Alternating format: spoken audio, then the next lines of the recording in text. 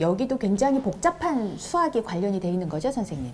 네, 아까 보시면 이 2세대 암호는 다소 직관적으로도 이해가 잘 돼요. 네. 근데 3세대 암호를 보면 아니 잠글 수는 있는데 열 수는 없다는 게 이런 비대칭이 과연 존재할까? 이런 생각을 해볼 수가 있어요. 여기서 다시 일방향 개념이 나와야 되는데요. 한쪽 방향은 쉬운데 반대쪽은 어려운 어떤 아, 함수 같은 것들이 있어야 됩니다. 어. 그거의 대표적인 예가 인수분해입니다. 인수분해. 자, 두 개의 숫자를 곱하는 거는 누구나 굉장히 쉽게 할 수 있는데 네. 곱한 수를 보고 원래 두 수를 찾는 거는 인수분해 하는 거. 그걸 인수분해라고 부르는데 네. 쉽지 않습니다. 네. 그것도 한번 화면에 네. 보실 수 있는데요. 네. 저기 몇 자리예요? 1459, 160, 519. 저는 못하니까 김현우 교수님이 한번 해보세요. 저도 못합니다. Q와 Q를 구해보세요. 네, 열 자리 수. 열 자리만 해도 사람이 풀긴 되게 어렵잖아요. 근데 물론 컴퓨터는 이건 쉽게 풉니다. 네, 그런데? 음. 100자리가 되면 조금 어려워지고요. 100자리요? 네. 음.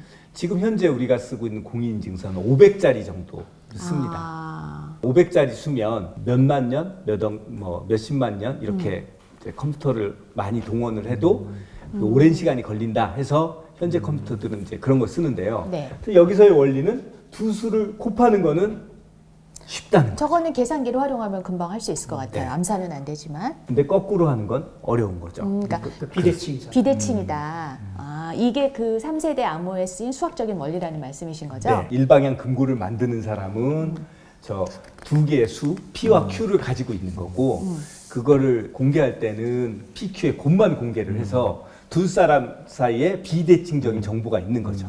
그러니까 저는 PQ를 알기 때문에 다 풀어볼 수가 있습니다. 어, 근데 아까 공인인증서는 500짜리라고 하셨잖아요. 그러니까 500짜리를 인수분해 하는 해야만 그 암호를 알 수 있는 거예요? 네, 지금 현재 우리가 쓰고 있는 건 정확하게 이제 700짜리 정도인데요. 네. 이제 2000 비트입니다. 각자가 쓰는 어, 수가 다 다르거든요. 네.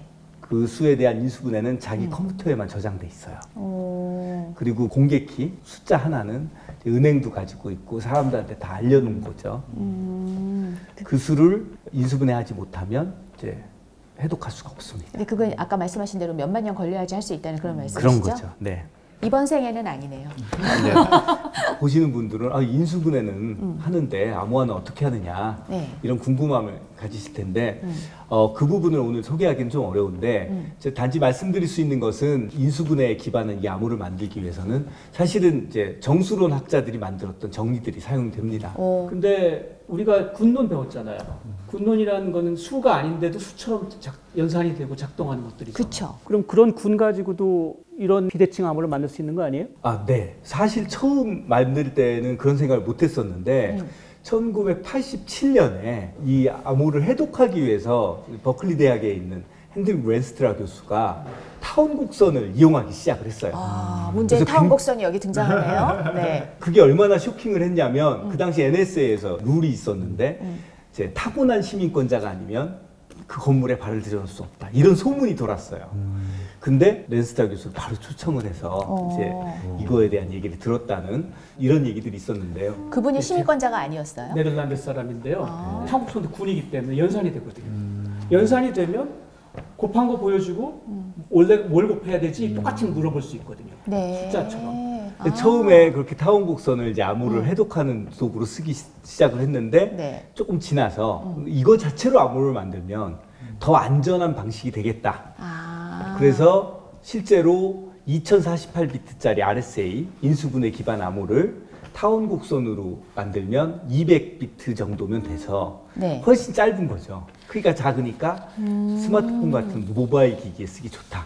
그래서 이제 유명해졌었습니다. 크기는 작은데 안정성은 비슷한 거예요. 안전성 우리가 안전성, 저 예, 네. security 안전성은 이제 비슷하다 이런 거였죠.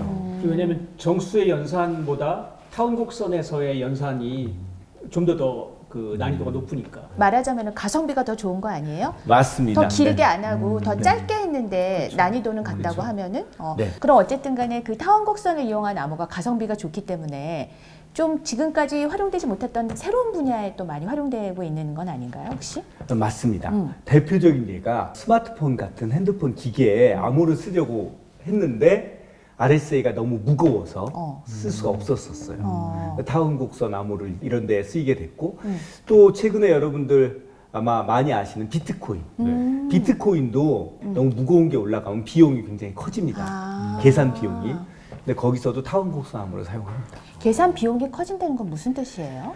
비트코인 같은 경우는 안전성을 위해서 한 컴퓨터가 계산하는 것 대신 수만 대 컴퓨터가 계산하는 방식을 택하거든요. 전력이 많이 소모된다는 그런 말씀일까요? 아, 맞습니다. 음, 그럼 안 되죠. 지구 보호한데도 그거는 너무 안 좋은 거예요. 타원곡선은 타원곡선은 훌륭한 일 했네요. 네. 지구를 지키는데.